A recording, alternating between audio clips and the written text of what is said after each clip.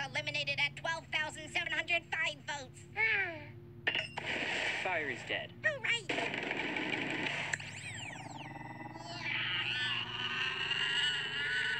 Wait!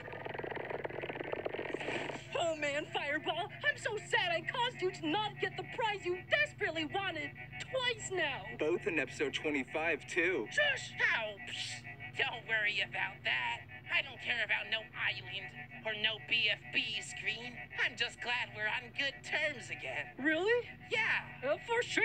Definitely. Awesome! Wait. What? Uh, Gelatin, you're not supposed to be in this conversation. Oh. No, he can be in it. Yay! Oh no. What? My arm is getting tired. Oof.